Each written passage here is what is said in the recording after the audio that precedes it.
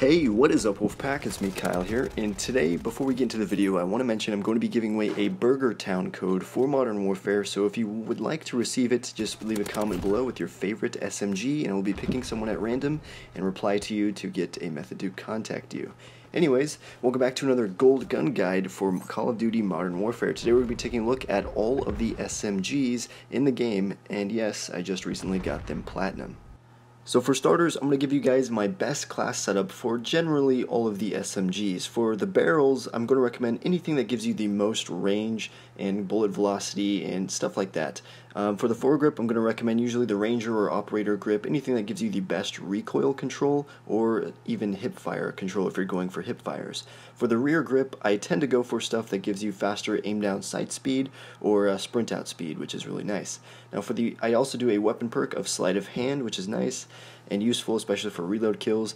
And usually I just go with a GI mini reflex, as that's just my favorite. You can change this up, uh, such as the sights and perks and rear grip or something you know, anything of the sort. I will say I tend to get rid of the mini reflex and put on a laser sight when I do go for hipfire kills.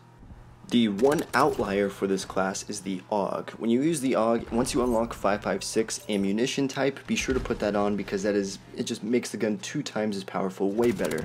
And uh, you could probably just get rid of the sights. I, I actually like the AUG iron sights, so they're not bad to use. Alright, so getting into the challenges here, we have kills and headshots. I found that you know, just playing and leveling up the gun, I generally got most of these without even trying. I believe there might have been one or two where I actually had to pay attention going for headshots, but, you know, they're pretty easy.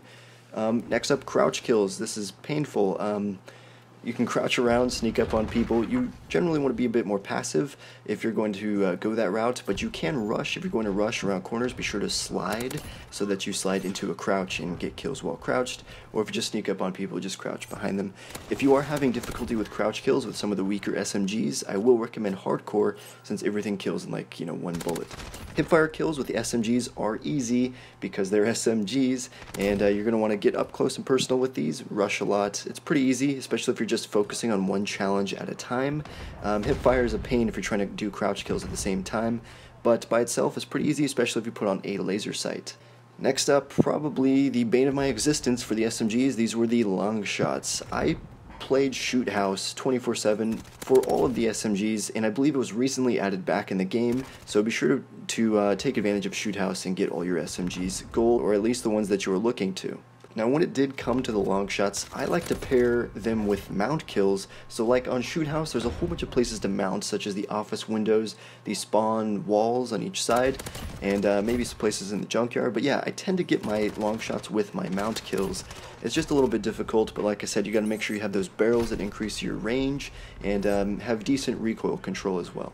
The five attachment kills, that's pretty easy, pretty much what you're going to be doing anyways.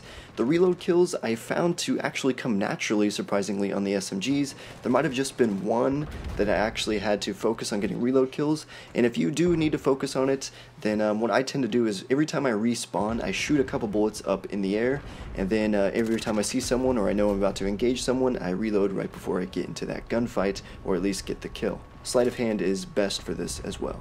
No attachment kills, pretty easy, except for the Mini Uzi, that gun's absolutely terrible. Um, when you're using no attachments on the Mini Uzi, you want to go for headshots for the most part, or at least aim high upper body. You could even go to hardcore, because honestly the Mini Uzi is that bad, you, you, you'll see.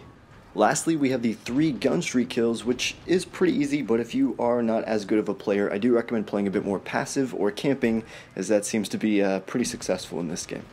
Anyways, guys, that's going to be it for this short little video. Hopefully you guys enjoyed and found this useful. If you did, then be sure to drop a like and subscribe for future Modern Warfare videos. But until next time, peace out, guys.